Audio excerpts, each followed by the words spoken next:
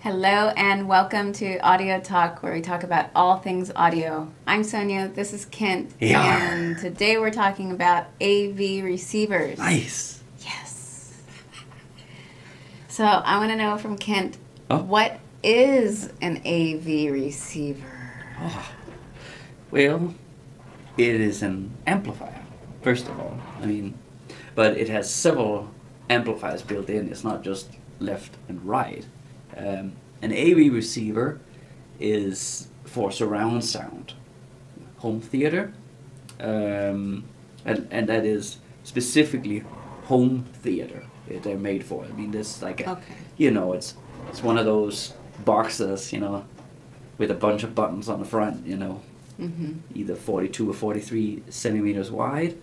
Um, that's and, and it, it can take in television signal through HDMI, and um, so that you get all the settings of the receiver up on the television as well. So it's really like for home theater, amplif- you know, amplifying, make delivering power for the speakers. You know, driving the speak passive speakers um, uh, for a, a home theater. That's what an AV receiver is. television. Yeah. Okay. Yeah. So, so do you need to have an AV receiver? Like, say, um, say you have a television, Mm. can you hook up a stereo receiver, or do you have to have an AV receiver? Uh huh. Well, it depends on your ambition. You know, you could hook up a an a regular a two channel receiver or amplifier to your television, uh, and using like for example an optical output of the TV Mm-hmm.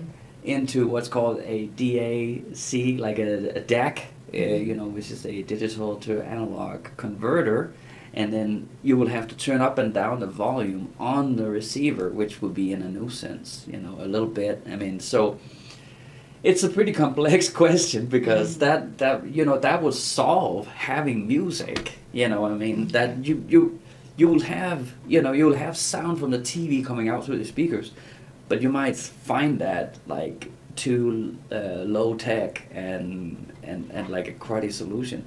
For the stereo Yeah, receiver? just yeah, so that you have to do this, or you have to grab another remote to Oh, to turn that is annoying.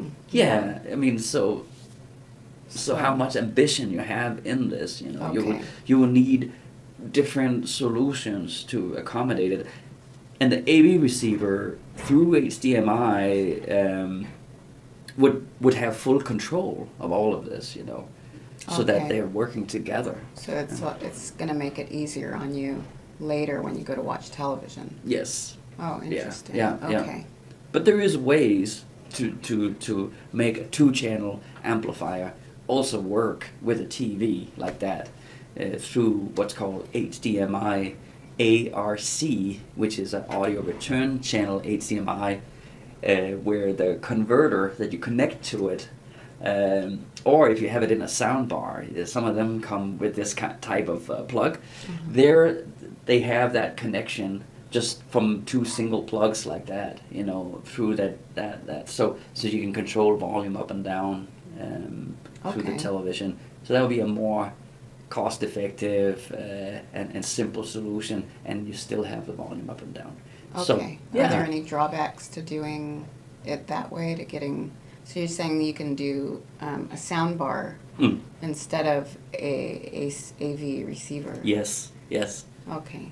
But Yeah. are there any drawbacks? Yeah, I mean to that not is. Getting the, the AV receiver? Uh huh. Yeah, there, there would be. I mean, an AV receiver, you have a whole different uh, opportunity to make a great big sound, you know, where a sound bar is something very compact uh, that's gonna have like, um, it might have, you know, a bunch of bass, uh, but because of its physical size, it, that kind of bass uh, would be mm, some lingering. Um, uh, not precise bass, like a muddy bass, because there's some physical limitations. Physics, you can't cheat physics. Um, it, it can give you the impression of of, of a lot of things, uh, you know, a Mhm. sound bar, but ultimately you will have less of a real experience from the sound, you know, than, Okay. than what you can achieve with an amplifier and set, uh, passive speakers. Okay, so it sounds like whether you need one, one of these AV receivers Yeah. or not depends on, on you and what kind of sound quality you want. Yes, yes, Okay. absolutely. Nothing has changed. You know, it's like physics. It's it's when you build speakers and you build equipment. It's it's all just like uh, how you choose to uh, to to put what first, size or quality or you know sound pressure. I mean, the physics are still the same, uh, and, not very many things have been figured out uh, since then. The use have been better, is better, like the digital aspect is better, but the physics of speakers haven't really developed much since the 60s. Oh, okay, Yeah. interesting. All Yeah. right. So that about wraps it up. I hope you have learned about what an AV receiver is, and we'll see you in the next video. Bye bye. Bye.